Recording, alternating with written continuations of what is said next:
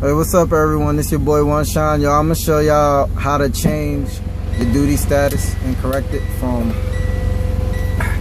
whatever duty status you need the correction from. So, as you can see, I'm on been on duty for like about 20 minutes and originally I was supposed to be on duty for 10. So, right here, what I would do is I'm gonna click the change button right here, change. And it was supposed to be off duty. So I'm gonna go off duty and press OK. So now I'm currently off duty. But now I wanna go to the approve logs.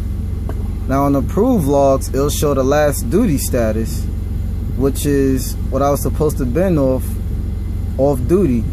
But it's showing 20 minutes that I was on duty. So this way I'm gonna show you how to correct it and adjust it to the current minutes or if you lost hours, so to speak. But I'm gonna show you how to correct it.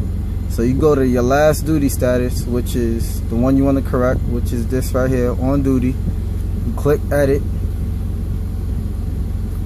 From here, this is right here this whole thingamajig is just your the current duty status that you want to correct. If it's just one, you could go ahead and correct correct it. But if it's a whole split, so to speak, duty in duty status, that when I said I was supposed to have 10 minutes on on duty and 10 minutes off. Well, yeah, I'm gonna go right here when you want to split them.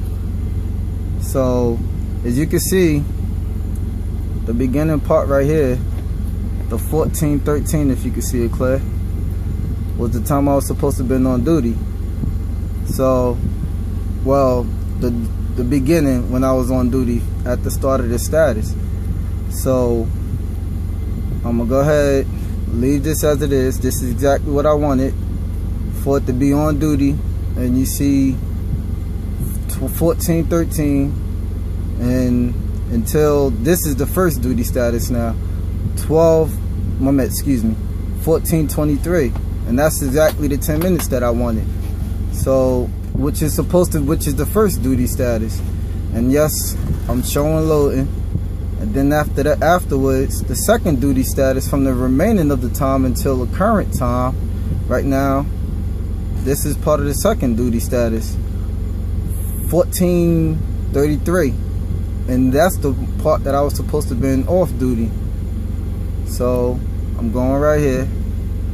Drop down box right here as you can see.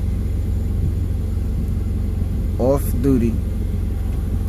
You see it's off. But now if I wanted to show you how to take time in or add in time so to speak open the Qualcomm up. Now say if I wanted on duty for just five minutes. Say if I wanted on duty for just five minutes up here on the first status and have the rest of the time go over here. It will do it automatically. The only thing I gotta do is just go back and put, let's talk, that was at 23, 18 I believe. Yes, 1418, and you see it just changed from 10 minutes to 5 and add the rest of the time in here, it would be, put it back to 23.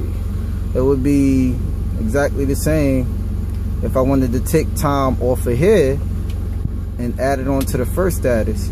So if I wanted to take time off of here, say 2014, 23, no 14 let's say 14 28 as you can see time is taken from here and added on here.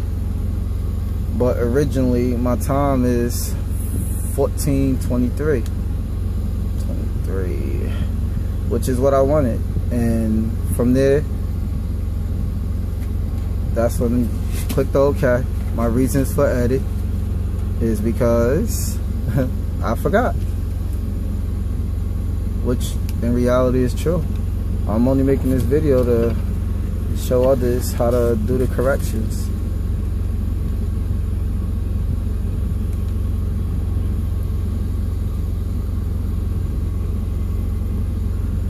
And there you have it. See my first duty status, exactly like I said, it's 10 minutes. And my second duty status, which is off duty, is 10 minutes. And that's how you complete the corrections.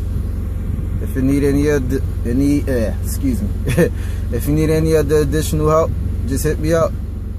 The only thing I can show y'all though as far as is just how to make the corrections on the e-logs